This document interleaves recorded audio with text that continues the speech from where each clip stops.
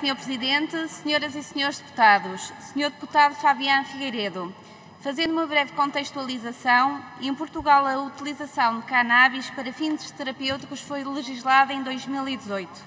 Muito embora já antes estavam aprovados medicamentos contendo extratos de cannabis que eram utilizados para o tratamento de algumas patologias, como é o caso da esclerose múltipla. Verdade que há potencialidades terapêuticas reconhecidas à cannabis, seja no tratamento de diferentes patologias, seja no controlo de sinais e sintomas. No entanto, há que ter em atenção que essa substância é considerada uma droga e cuja utilização não controlada e de forma abusiva comporta graves e inegáveis prejuízos e riscos para a saúde humana.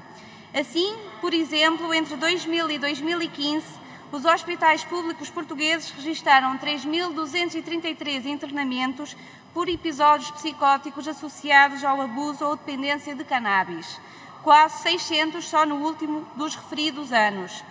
Também, de acordo com o relatório do CICADA, entre 2012 e 2016-17, verificou-se um agravamento do consumo de cannabis, quer ao nível da prevalência, quer a nível da frequência de consumo.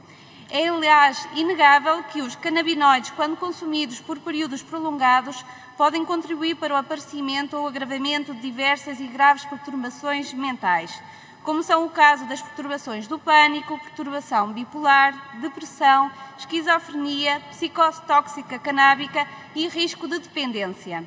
Mas o consumo prolongado de cannabis pode ainda afetar algumas funções cognitivas, como sejam a fluência no falar, a atenção, a memória a curto prazo, daí podendo resultar uma diminuição, um déficit na aprendizagem.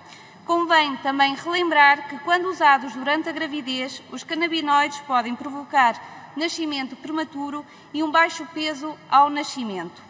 Adicionalmente, há estudos que evidenciam que a exposição intrauterina à cannabis aumenta o risco de déficit de atenção nas crianças e poderá gerar maior predisposição ao consumo de drogas na idade adulta. Por todos os fatos descritos, entre muitos outros que poderiam aqui ser mencionados, não surpreende que um parecer do Conselho Nacional de Ética para as Ciências da Vida de 2018 tenha advertido para os riscos da cannabis.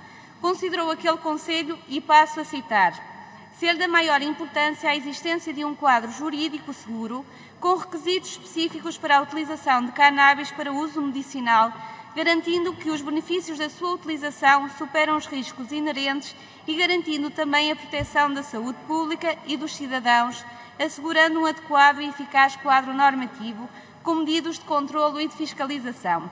Neste contexto, pergunto ao Sr. Deputado se o Bloco de Esquerda reconhece ou não a existência de riscos para a saúde humana que podem resultar do consumo desregulado de cannabis, Pergunto-lhe ainda se, reconhecendo os riscos, tem o Bloco de Esquerda abertura, sim ou não, para se promoverem soluções conducentes para uma legalização responsável do uso de cannabis.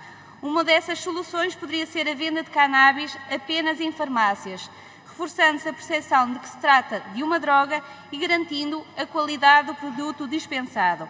Uma estratégia de legalização responsável é necessária. Está o Bloco de Esquerda disponível para efetuar esse caminho? Obrigada.